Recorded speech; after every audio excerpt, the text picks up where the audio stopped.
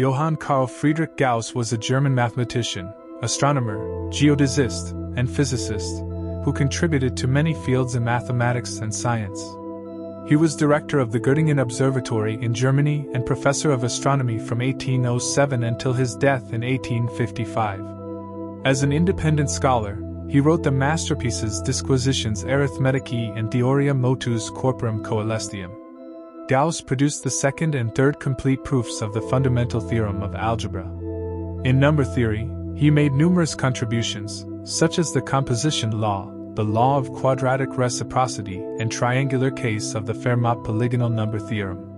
He also contributed to the theory of binary and ternary quadratic forms, the construction of the heptadecagon, and the theory of hypergeometric series.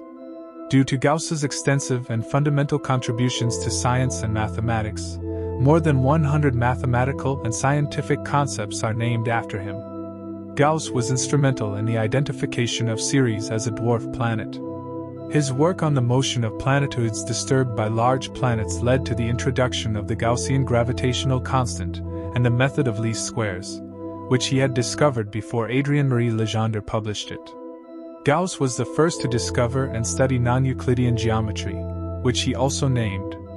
He developed a fast Fourier transform some 160 years before John Tukey and James Cooley. Gauss was not a committed or enthusiastic teacher, generally preferring to focus on his own work. Nevertheless, some of his students, such as Dedekind and Riemann, became well known and influential mathematicians in their own right.